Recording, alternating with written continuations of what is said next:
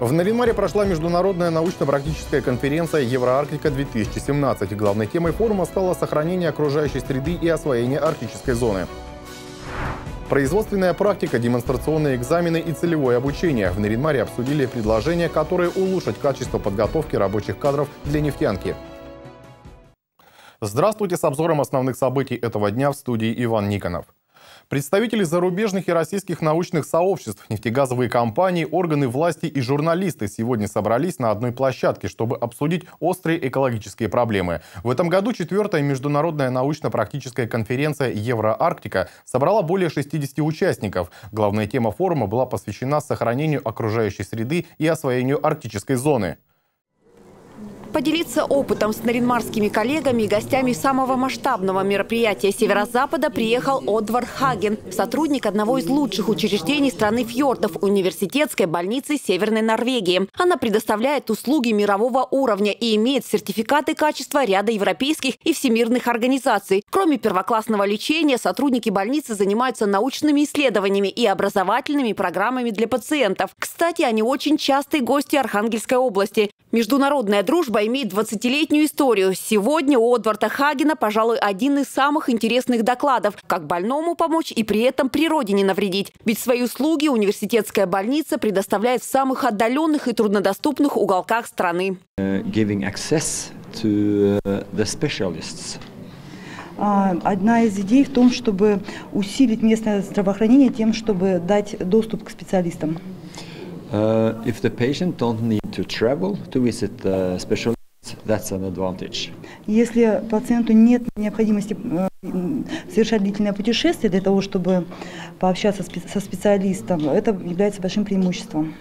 So, and traveling is one of the typical footprints uh, by using a lot of resources in healthcare. Необходимость э, совершать длительные поездки является также нагрузкой на природную среду. Поэтому снижение поездок – это один из э, способов э, улучшить, то есть снизить воздействие на природу. Научно-практическая конференция «Евроарктика-2017» стала площадкой не только для обсуждения вопросов в экологии, но и недропользования. Сегодня активно участвовал в дискуссиях начальник отдела охраны окружающей среды ООО «Лукойл Коми» Владимир Костылев. Мне доклады очень интересны, со многими людьми э, наша компания работает. Начиная вот с этой четвертой конференции и дальше мы будем обязательно принимать участие. Мы, наши специалисты компании «Лукойл Коми», а, поскольку мы работаем в двух регионах, это Ненецкий автономный округ и Республика Коми. Оба региона а, имеют, скажем так, непосредственное влияние на арктическую зону, а, влияние а, производственная деятельность. Чтобы в полной мере обеспечивать безопасность окружающей среды в районах производства, по словам Владимира Геннадьевича, «Лукойл» реализует собственные экологические программы. Объемы их финансирования растут из года в год. А это и замена трубопроводов, и строительство экологичных производственных объектов, и регулярные учения. Также на, а, в Наринмаре проходил а, проходило мероприятие, тренинг по э, спасению э, животных от нефтяного загрязнения. А мы также принимали участие в, в, в этом э, тренинге. Компания «Лукойл» была инициатором этого тренинга. О своем видении проблемы освоения Арктики на конференции рассказали и представители Института криосферы Земли Тюменского научного центра, Петрозаводского госуниверситета, Института проблем промышленной экологии Севера, Кольского научного центра РАН и другие организации. Безусловно, то есть результатом работы конференции э, будет э, некая резолюция, да, куда войдут э, те рекомендации, которые участниками в процессе сегодняшней работы будут выработаны. То, о чем сегодня было сказано на конференции выводы должны приходить, переходить в некую нормативную плоскость, то есть, соответственно, предложения по э, донастройке нормативной базы для реализации тех предложений, которые будут выработаны. Напомню, научно-практическая конференция «Евроарктика» проводится в Ненецком округе уже в четвертый раз. В 2015 году участники мероприятия обсуждали освоение углеводородного потенциала региона и прилегающего шельфа. Любовь Пермякова, Владислав Носкин, телеканал «Север». Совместная подготовка квалифицированных кадров. Этой теме посвятили рабочее совещание, в котором приняли участие представители нефтяных компаний «Татнефть», «РН Северная нефть», «Лукойл Коми», «Зарубеж нефть «Хоряга», «Печора нефть» и «Башнефть», руководители профильных департаментов и Нинского профессионального училища. На встрече были озвучены предложения, которые позволят наладить более тесное сотрудничество профессиональных учреждений и нефтяных компаний региона и, как следствие, качественную подготовку рабочих кадров для работы в нефтянке. Одной из главных тем совещания стала организация производственной практики на объектах нефтяников. Сегодня есть необходимость отправить на стажировку студентов-выпускников по специальности электромонтажник. В группе обучается 17 человек, троих из них по предварительной договоренности берет на практику Роснефть «Северная нефть». Обязательно у практикантов должны быть э, удостоверения на рабочую профессию. Ну, в данном случае э, это должен быть электромонтер по силовым сетям и электрооборудованию, э, не ниже третьего разряда. Мы готовы предоставить практику на а, Баканском месторождении. Вот, студенты будут обеспечены трехразовым питанием, проживанием. Не откладывая вопрос в долгий ящик, Дмитрий Рожин предложил представителям нефтяных компаний на месте оценить возможность организации практики для оставшихся 14 студентов-электромонтажников и для группы слесарей-ремонтников. Вот, у нас есть э, хорошая практика вот, предыдущего э, значит, э, года, да, где мы э, принимали 13 студентов да, по, по ремонту скважин, да, наша компания, которая оказывает услуги, которая в Севераде. Поэтому в рамках этого направления мы готовы подключиться к этому вопросу. Питание, спецодежда, обмундирование, значит, так сказать, там будет. Вот. Но это все с Усинска. Мы понимаем, что до Усинска детей мы доставим. Поговорили и о трудоустройстве жителей НАУ на производственные объекты нефтяников. Из 11 тысяч человек, которые сегодня работают на месторождениях Ненецкого округа, лишь 500 местные жители. По информации Сергея Свиридова, из 860 вакансий, представленных на бирже труда региона, 463 – это вакансии недропользователей. Однако трудоустроить на них именно местных жителей не всегда удается. Здесь как раз основная проблема в чем существует, что с момента получения вакансии, формирования заказа и до окончания процесса обучения проходит продолжительный период времени. Само обучение от 3 до 4 месяцев составляет, ну и плюс все организационные вопросы. Соответственно, столь долгий период э, работодатель не может ждать от нас предложений, и вакансия замещается. И в итоге получается следующая картина. Мы человека обучили, а трудоустроить его уже не можем. Не можем. В этой связи Сергей Сферидов предложил недропользователям совместно с Ненецким профессиональным учреждением выстроить прогнозный план, который бы учитывал потребность компании в рабочих кадрах. По словам Галины Медведевой, сегодня училище способно мобильно готовить специалистов по краткосрочным программам в течение трех-четырех месяцев по различным компетенциям, а их соответствие требованиям работодателей можно оценивать на демонстрационных экзаменах. И вы бы могли видеть чем, какими компетенциями сегодня обладают студенты. Достаточно вам этих компетенций или нет?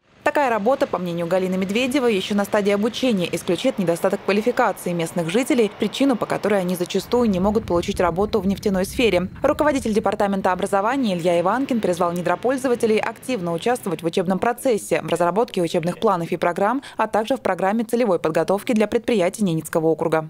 Мы открыли дополнительные группы по 25 человек в каждом учебном заведении на условиях софинансирования.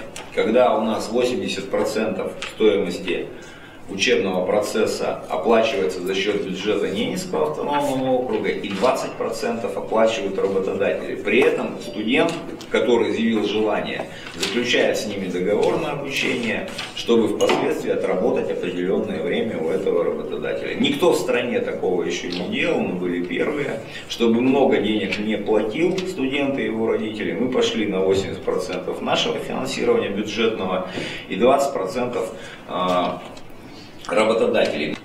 Поэтому мы бы хотели еще такую практику развивать и с нефтяными компаниями. Я не думаю, что для вас там при обучении трех-четырех человек это будет слишком обременительно. Все предложения, озвученные на совещании, представители нефтяных компаний проработают совместно с руководством. Ирина Цепетова, Владислав Носкин, телеканал «Север». Депутаты окружного парламента согласовали кандидатуру Андрея Слонова на должность мирового судьи Ненецкого округа в судебный район Наринмарского городского суда, судебный участок номер один. Такое решение народные избранники приняли сегодня на сессии. Андрей Слонов родился в 1979 году, имеет высшее юридическое образование. На юридических должностях работает 8 лет. Три из них в должности мирового судьи Ненецкого округа.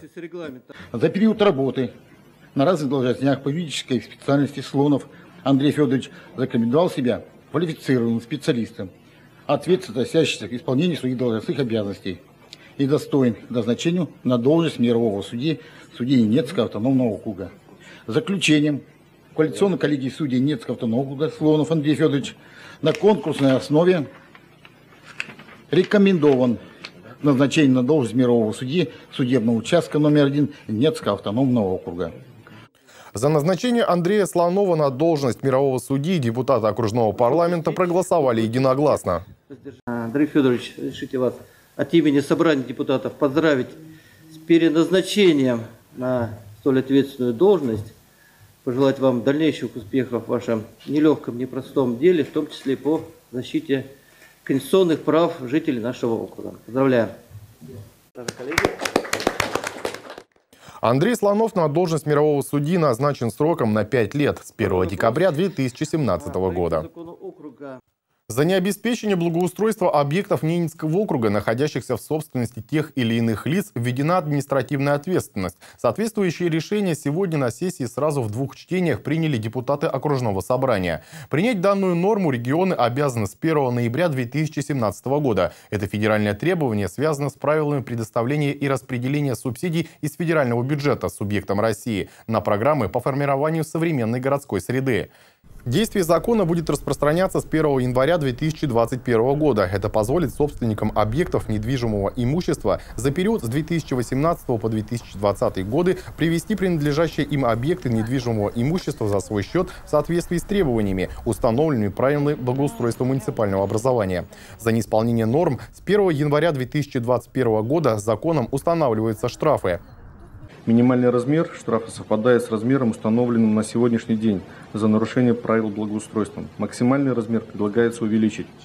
Предлагается следующий размер административных, административного штрафа за необеспечение собственниками правил благоустройства для физических, физических лиц от 1 тысячи до 5, для должностных лиц от 3 до 7 тысяч на лиц, осуществляющих предпринимательскую деятельность без образования юридического лица и юридических лиц от 10 тысяч до 50 тысяч рублей. Прошлом году в Наринмаре было выписано порядка 300 штрафов за подобные правонарушения. Речь здесь может идти о содержании дорог, освещении, об уборке и очистке территорий как организациями, объектами торговли и прочими юридическими лицами, так и собственниками индивидуальных жилых домов. Еще один вопрос, который сегодня на сессии приняли региональные парламентарии, касается организации проведения капитального ремонта общего имущества многоквартирных домах. Изменения в закон округа вызваны изменениями в жилищный кодекс России. Указанными изменениями определен порядок уплаты взносов на капитальный ремонт собственниками нежилых помещений в многоквартирном доме.